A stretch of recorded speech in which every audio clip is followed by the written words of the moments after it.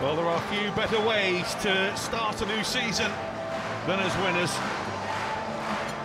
After the ultimate disappointment at the end of last season, Liverpool are setting off in 2022 on the right foot. There are more medals for those players, more winners' medals for those players being handed over by Ian Rush with the biggest smile on his face.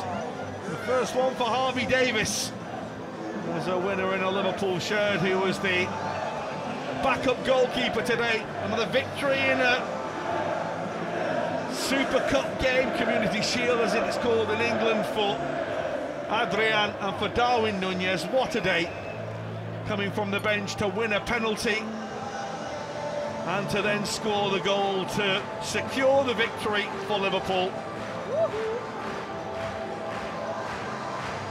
Virgil van Dijk taking his medal. Diogo Jota and Kostas Tsimikas both unable to play today, getting theirs. And Mohamed Salah starting the season with a goal and a medal as he means to go on. And for Jordan Henderson, it's time for another trophy.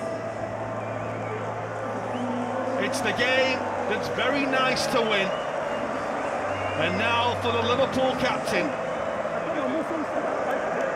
the famous old shield. It was the charity shield, it is now the community shield.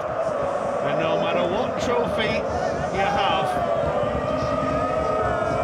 it will still get the Hendo Shuffle as Liverpool win the community shield and start the season off in the very best way imaginable.